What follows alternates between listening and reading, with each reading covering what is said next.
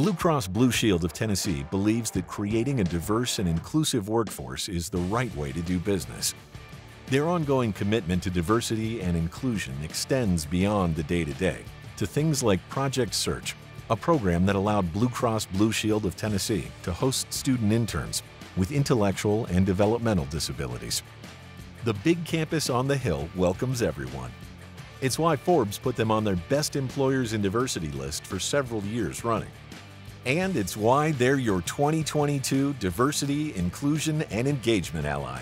Let's hear it for Blue Cross Blue Shield of Tennessee.